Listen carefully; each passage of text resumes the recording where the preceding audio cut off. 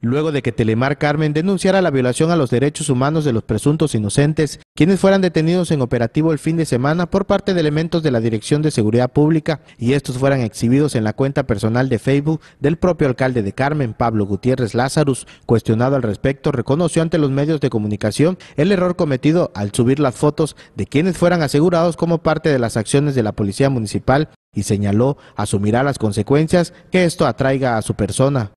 Ahí eh, se cometió un, error eh, grave y estamos conscientes de ello. Eh, al calor del operativo que se fue realizando se subieron las imágenes y sí, asumo las, la, responsabilidad del error que fue cometido. Ante este hecho, el alcalde de Carmen aseguró ya toma acciones para que este tipo de errores no se vuelvan a cometer durante su administración. vamos a, y vamos a tomar medidas al respecto para que no se vuelvan a presentar ese tipo de cuestiones. Con imágenes de Pedro Méndez, Valentín Mendoza, Telemar Carmen.